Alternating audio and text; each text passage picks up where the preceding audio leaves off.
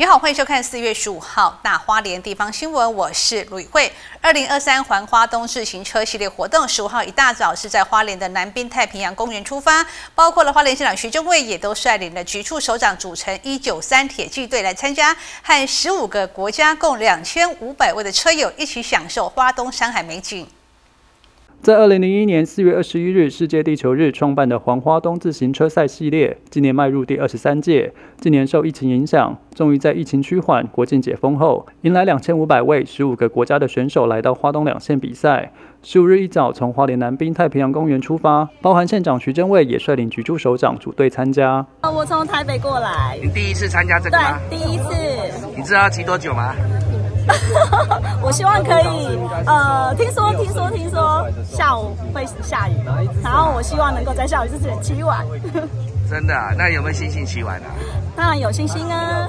Have a good trip, safe trip, and I will see you at the finish line. And I'm really happy to be here.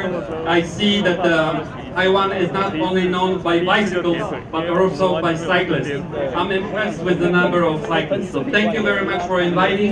And when I will come to the United Nations and when I will come to America, I will tell them that Right now, there are more cyclists than bicycles in Taiwan. 我想二十三年的坚持，呃，在台湾自行车已经蔚为风尚，尤其是花东县是最艰辛，但是也是最漂亮、最宜人。所以再一次欢迎大家， 啊，在这个两天的赛程中，能够非常的悠游自在，跟自己的内心挑战，跟自己好的梦想挑战。还有花莲县政府团队一九三团队在哪里？我们花莲县政府为自行车成立了一九三车队，哦，在我们左边，这也是我们今天第一次，哦，跟大家一起来出行，啊，所以请祝大家健康快乐。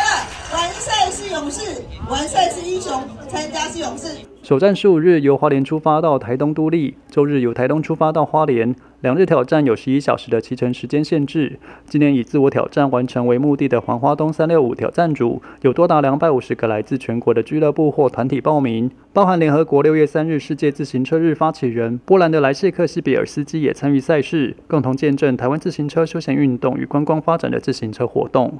记者蒋邦彦华女士报道。